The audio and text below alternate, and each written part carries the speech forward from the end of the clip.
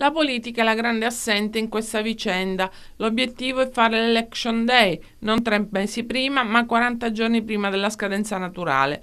Le dimissioni sono dettate al buonsenso, sia per evitare che i siciliani nello spazio di un mese vadano due volte a votare, sia per risparmiare 20 milioni di euro di denaro pubblico, per evitare la crescita dei contagi e non chiudere la scuola due volte.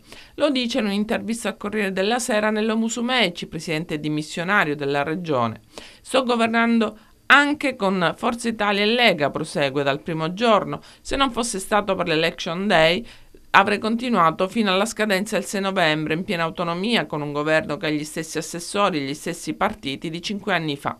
Miccichè, gli attacchi sono frutto di ossessione, visto che quel partito ha lasciato i suoi a ben governare con me fino ad oggi, come la Lega. In cinque anni abbiamo sostituito appena quattro assessori e non 56, come era accaduto con il governo a guida PD. Sono pronto, se risultassi divisivo, a fare un passo di lato, ma non lo faccio, considerato che ancora non è stato indicato alcun candidato.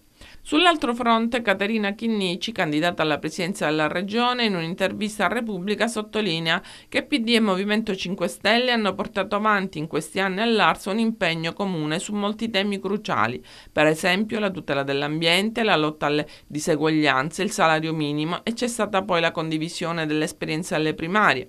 Penso, ha detto, sia un patrimonio da non disperdere e considero il movimento una forza trainante di questo percorso fatto in Sicilia e un alleato fondamentale per vincere questa sfida. Conto sul sostegno del Movimento 5 Stelle e ho molto apprezzato i segnali dati in questi giorni da alcuni dei suoi principali esponenti.